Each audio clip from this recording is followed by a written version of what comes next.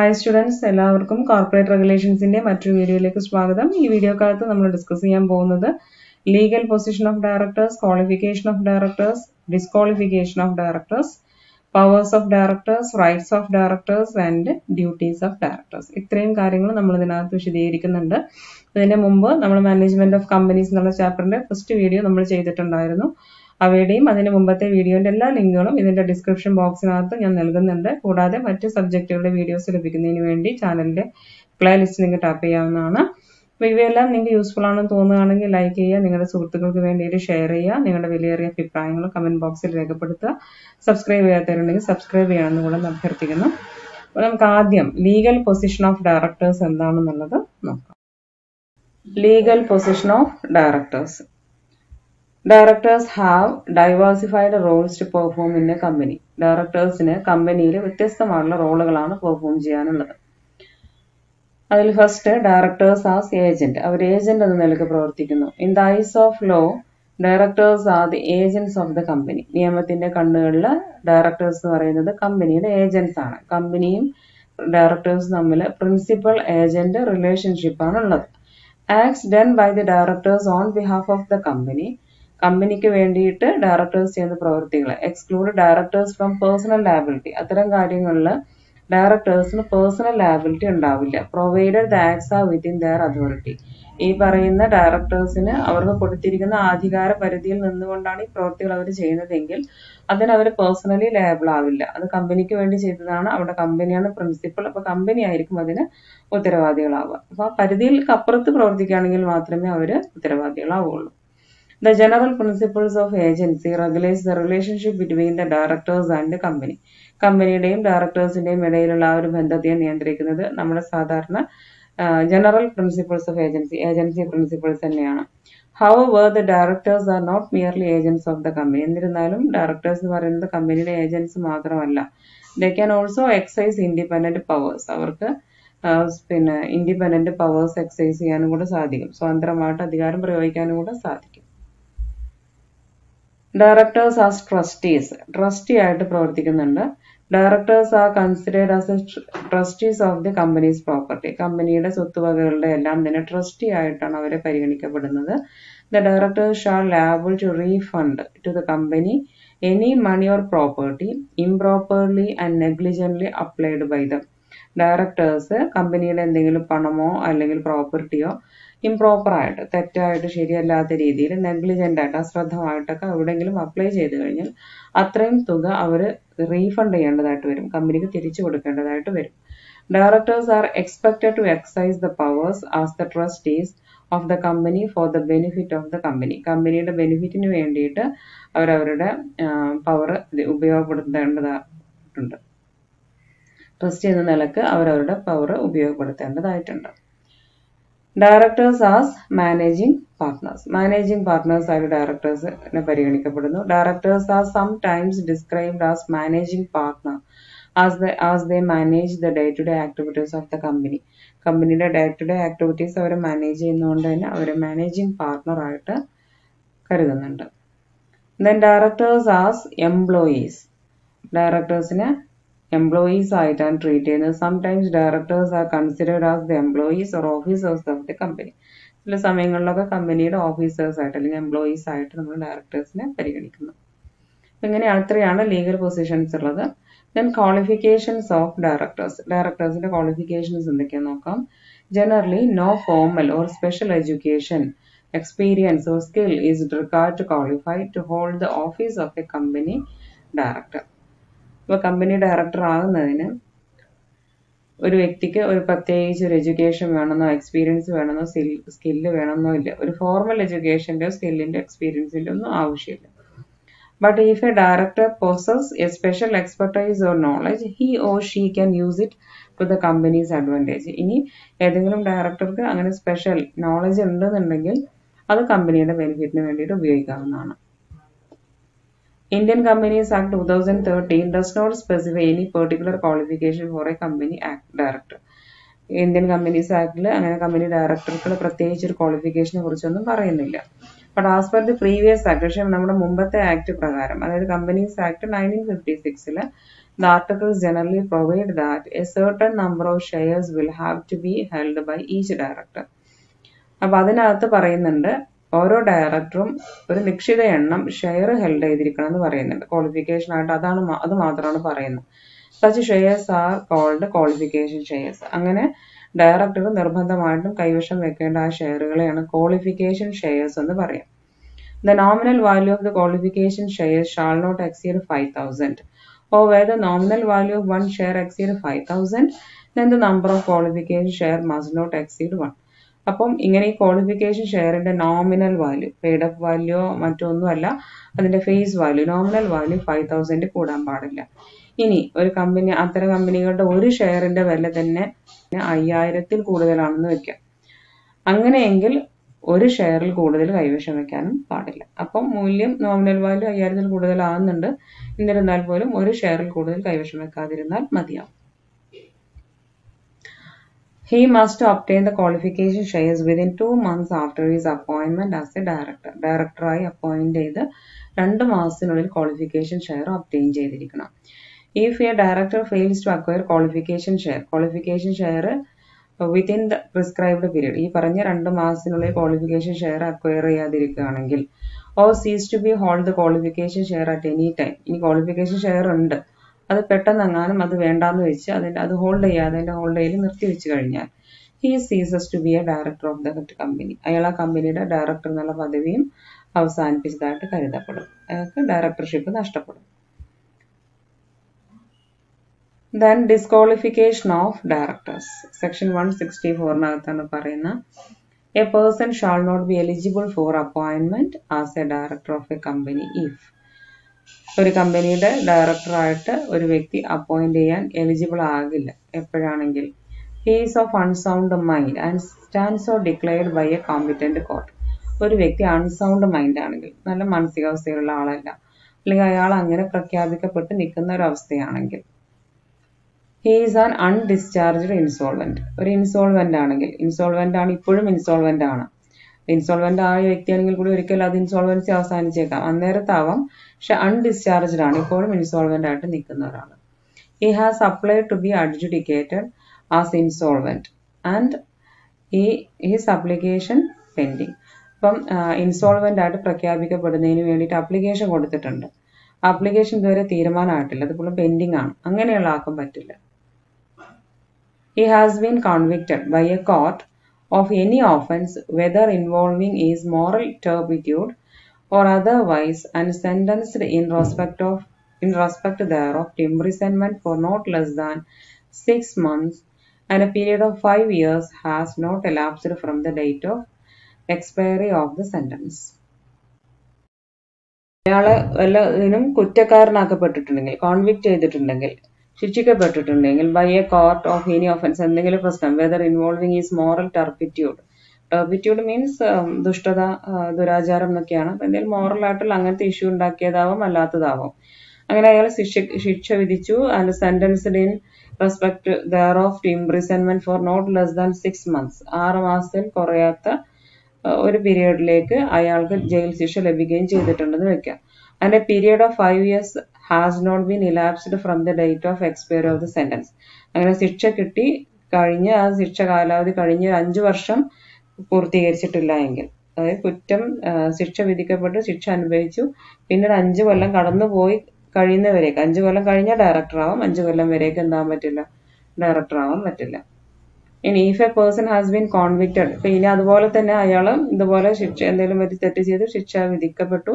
അയാൾക്കൊരു ഏഴ് വർഷം അതിൽ കൂടുതലോ imprisonment for a period of seven years or more ഏഴ് വർഷം അതിൽ കൂടുതലോ ശിക്ഷ കിട്ടി കഴിഞ്ഞ ഒരാളാണെങ്കിൽ ഈ shall not be eligible to be appointed as a director അയാൾക്ക് ഒരിക്കലും ഡയറക്ടറായിട്ട് അപ്പോയിന്റ് ചെയ്യാൻ യോഗ്യനായിരിക്കില്ല. കുറച്ച് ശിക്ഷ മാത്രം കിട്ടിയ ഒരാളാണെങ്കിൽ അത് കിട്ടി അഞ്ചു വർഷത്തിന് ശേഷം ആവും മറ്റേത് തീരെ പറ്റില്ല. An order disqualifying him for appointment as a director has been passed by a court or tribunal and the order is in force.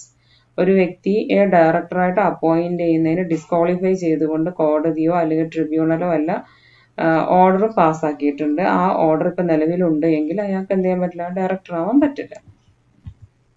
He has not paid any calls in respect of any shares of the company held by him. അതുപോലെ തന്നെ അയാൾ held ചെയ്തിരിക്കുന്ന ഷെയറിന്മേൽ പേ ചെയ്യേണ്ടതായിട്ടുള്ള കോളുകൾ pay ചെയ്തിട്ടില്ല. Whether alone or jointly with others ചിലപ്പോൾ അത് ഒറ്റയ്ക്ക് held ചെയ്ത ഷെയർ ആവാം അല്ലെങ്കിൽ മറ്റുള്ളവരുമായിട്ട് ജോയിന്റ് ആയിട്ട് ഹെൽഡ് ചെയ്ത ഷെയർ ആവാം.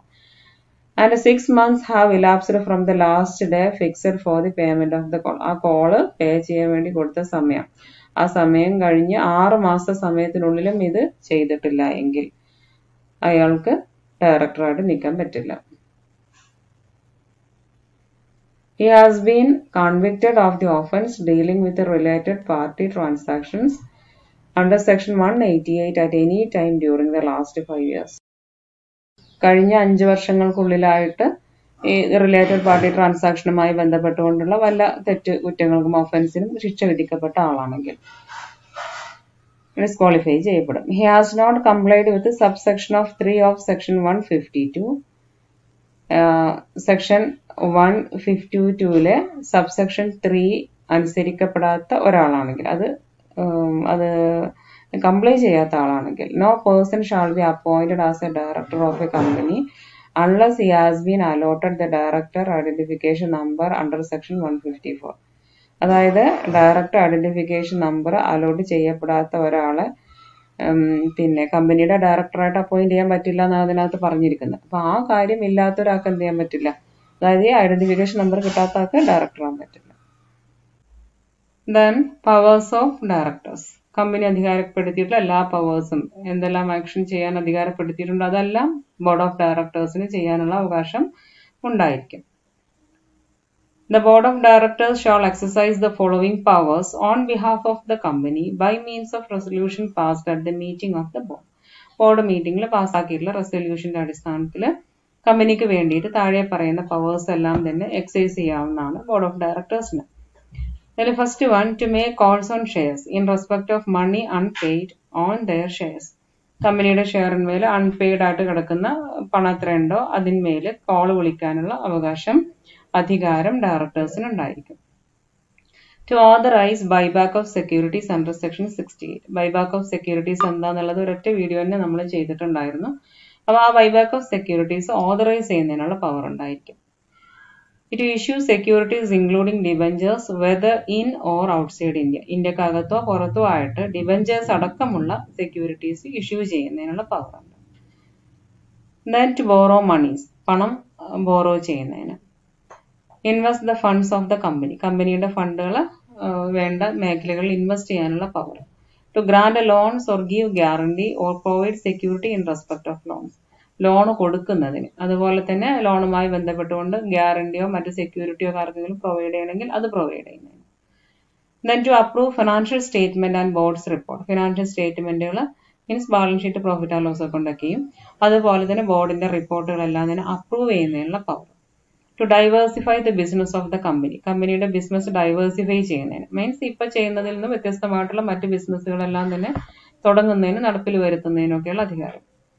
To approve amalgamation merger or reconstruction amalgamation merger എന്നൊക്കെ പറയുമ്പം കമ്പനികൾ രണ്ട് കമ്പനികൾ ഒരുമിച്ച് ചേർന്ന് പുതിയൊരു കമ്പനിയായി ജോയിൻ ചെയ്ത് പ്രവർത്തിക്കുക. അതൊക്കെയാണ് അമാൽഗമേഷൻ മെർജർ പിന്നെ റീകൺസ്ട്രക്ഷൻ എന്ന് പറയുമ്പം കമ്പനിയുടെ ഷെയറിലൊക്കെ മാറ്റം വരുത്തി റീകൺസ്ട്രക്ഷൻ നടത്തുന്ന കാര്യങ്ങളൊക്കെ.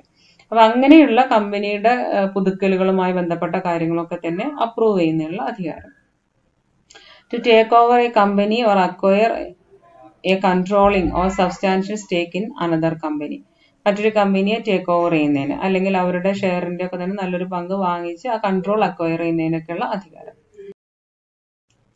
Then any other matter which may be prescribed ഇതുപോലെ തന്നെ വേറെ എന്തൊക്കെ കാര്യങ്ങളിലാണ് ഇതുപോലെ അധികാരം നേരത്തെ പറഞ്ഞു വെച്ചിട്ടുള്ളതെങ്കിൽ അതെല്ലാം തന്നെ നടപ്പിൽ വരുത്താനുള്ള അധികാര അവകാശങ്ങൾ ഉണ്ടായിരിക്കും. Then in addition to the above powers, the board shall exercise the following powers only with the consent of the company by a special resolution. ഇപ്പൊ മേൽ പറഞ്ഞ പവറുകൾക്ക് പുറമെ ഒരു സ്പെഷ്യൽ റെസൊല്യൂഷൻ പാസ്സാക്കുന്നതിലൂടെ അങ്ങനെ സമ്മതം കിട്ടിയതിലൂടെ താഴെ പറയുന്ന കാര്യങ്ങളും കൂടെ ചെയ്യാനുള്ള അധികാരം കമ്പനി ഡയറക്ടർക്ക് ഉണ്ടായിരിക്കും. എന്തൊക്കെയാ നോക്കാം? To sell lease or otherwise dispose of the whole of the undertaking of the company ആ കമ്പനിയെ മുഴുവനായിട്ടോ അല്ലെങ്കിൽ കുറെ അണ്ടർടേക്കിങ്സ് ഉണ്ടെങ്കിൽ അതിൽ ഭാഗികമായിട്ടോ അല്ലെങ്കിൽ മുഴുവനായിട്ടോ ഒക്കെ തന്നെയും സെൽ ചെയ്യുന്നതിന് അത് ലീസിന് കൊടുക്കുന്നതിന് വേറെ ഏതെങ്കിലും രീതിയിൽ ഡിസ്പോസ് ചെയ്യാമെങ്കിൽ അങ്ങനെയൊക്കെ ചെയ്യുന്നതിനുള്ള അധികാരം ഉണ്ടായിരിക്കും. To invest compensation received as a result of any merger or amalgamation in securities other than trust securities merger amalgamation ഒക്കെ നടന്ന സമയത്ത് കിട്ടിയിട്ടുള്ള കോമ്പൻസേഷൻ ആ ഫണ്ട് ട്രസ്റ്റ് സെക്യൂരിറ്റീസ് അല്ലാത്ത വേറെ ഏതെങ്കിലും സെക്യൂരിറ്റീസിൽ ഇൻവെസ്റ്റ് ചെയ്യാനുള്ള അധികാരം. To borrow in excess of paid up share capital and free reserve of the company കമ്പനിയുടെ പെയ്ഡ് അപ്പ് ഷെയർ ക്യാപിറ്റലും ഫ്രീ റിസർവും രണ്ടും കൂടി കൂട്ടിയ തുകയേക്കാൾ കൂടുതലായിട്ടുള്ള ഫണ്ട് ബോറോ ചെയ്യാനുള്ള അധികാരം. Then to remit or give time for repayment of any debt due from a director ഡയറക്ടറിൽ നിന്നും കിട്ടാനുള്ള ആ ഒരു ഡെറ്റ് അത് റെമിറ്റ് ചെയ്യുന്നതിന് അല്ലെങ്കിൽ അത് റീപേയ്മെന്റിനുള്ള സമയം അനുവദിക്കുന്നതിനുള്ള അവകാശം. To donate to a charitable purpose an amount exceeding 5 percentage of the average net profit of the company for the last three years കഴിഞ്ഞ മൂന്ന് വർഷം. ആ മൂന്ന് വർഷത്തിലുണ്ടായ പ്രോഫിറ്റുകളുടെ ആവറേജ് കണ്ടിട്ട് അതിന്റെ ഫൈവ് പെർസെന്റേജിൽ കൂടിയ ഒരു എമൗണ്ട് അത് ചാരിറ്റബിൾ പർപ്പസിന് ഡൊണേറ്റ് ചെയ്യാനുള്ള അധികാരം. ഇത്രയാണ് ഇവരുടെ അധികാരങ്ങൾക്കകത്ത് വരുന്നത് പവറിനകത്ത് വരുന്നത്. ഇനി ഡയറക്ടേഴ്സിന്റെ റൈറ്റ്സ് എന്തൊക്കെയാണ്? അവകാശങ്ങൾ എന്തൊക്കെയാണെന്നുള്ളത് നോക്കാം.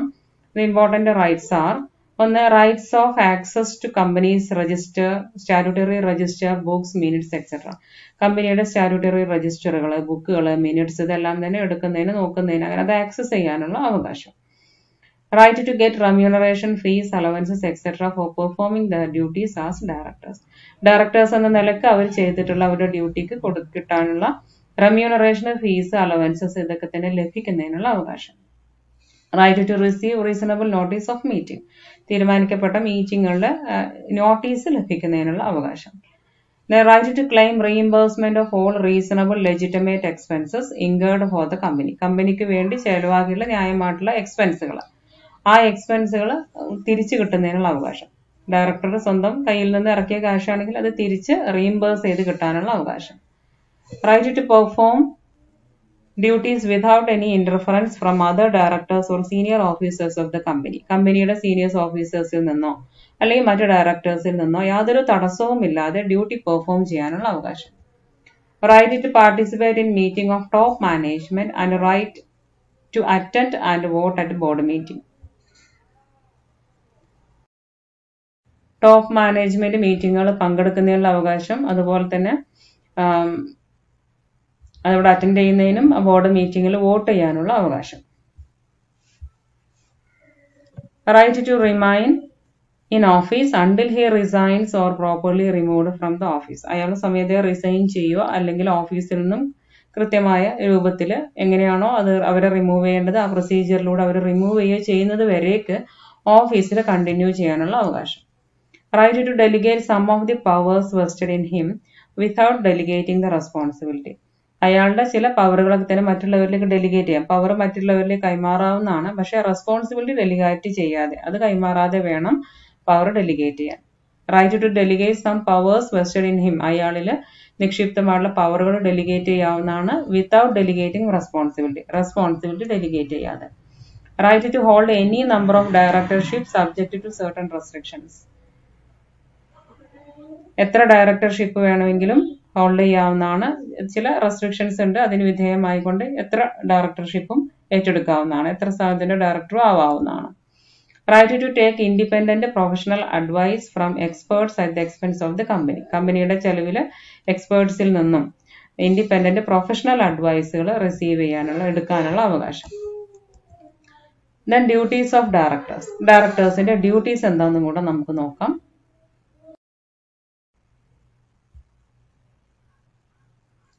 The following duties have been laid down in the Companies Act 2013.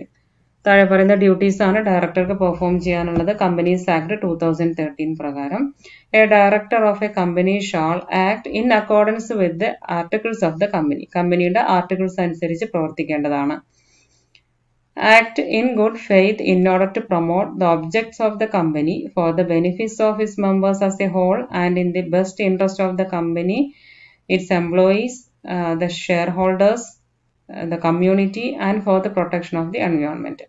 അപ്പോൾ അയാൾ ഏറ്റവും പരമമായ ഉത്തമ വിശ്വാസത്തോടു കൂടി പ്രവർത്തിച്ചിരിക്കണം എന്തിനു വേണ്ടിയിട്ടാണ് അവിടെയുള്ള മുഴുവൻ മെമ്പേഴ്സിന്റെയും ബെനിഫിറ്റിന് വേണ്ടിയിട്ട് അതുപോലെ തന്നെ കമ്പനിയുടെ ബെസ്റ്റ് ഇൻട്രസ്റ്റ് അതുപോലെ എംപ്ലോയീസിന്റെ ഷെയർ ഹോൾഡേഴ്സിന്റെ കമ്മ്യൂണിറ്റിയുടെയൊക്കെ തന്നെ ഉത്തമമായ താല്പര്യം എന്താണോ അത് സംരക്ഷിക്കുന്നതിന് വേണ്ടിയിട്ട് എൻവയോൺമെന്റ് പ്രൊട്ടക്ട് ചെയ്യുന്നതിനൊക്കെ വേണ്ടിയിട്ട് ഉള്ള കമ്പനിയുടെ ഒബ്ജക്ട്സ് എന്തൊക്കെയാണോ അതെല്ലാം പ്രൊമോട്ട് ചെയ്യുന്ന രീതിയിൽ നല്ല രീതിയിൽ വിശ്വാസ്യതയോടുകൂടി അയാൾ പ്രവർത്തിക്കേണ്ടതാണ്.